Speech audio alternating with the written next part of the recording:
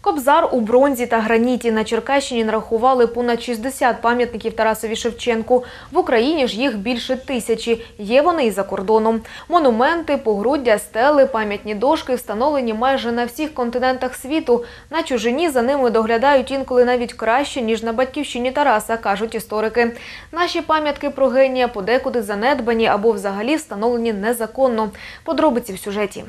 Монументи, погруддя, стели та пам'ятні дошки Тарасові Шевченко встановлені в більш аніж трьох десятках країн світу. За це українська діаспора у США пропонує навіть внести поета до книги рекордів Гіннеса.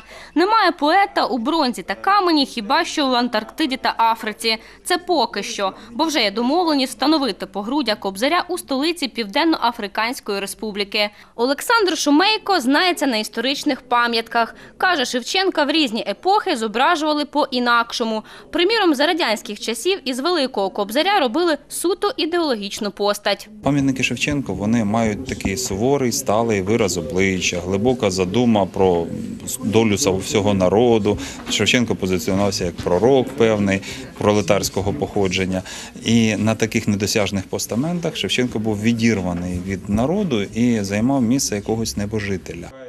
На сучасних постаментах Шевченко зображений ближчим до людей. У нього звичайний вираз обличчя та живі емоції. В Україні пам'ятників Тарасові більше тисячі. На Черкащині історики нарахували їх понад 60.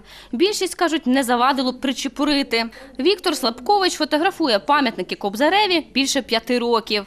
Чоловік приніс до музею поета свої найкращі роботи. Шкодує, що постать генія подекуди на Черкащині навіть важко впізнати. Інколи дійсно при- приїздиш кудись, кудись фотографуєш і, і бачиш, в якому він стані, ну дуже якось так е, неприємно. На Черкащині ще й багато пам'ятників поетові безгосподарські, говорять фахівці, а тому реставрувати їх за державний кошт неможливо.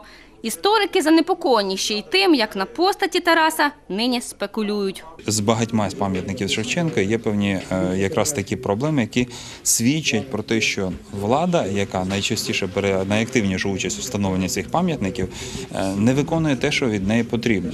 Їй потрібні ці пам'ятники для власного піару, для відмивання коштів, е, для залучення якоїсь спонсорської допомоги.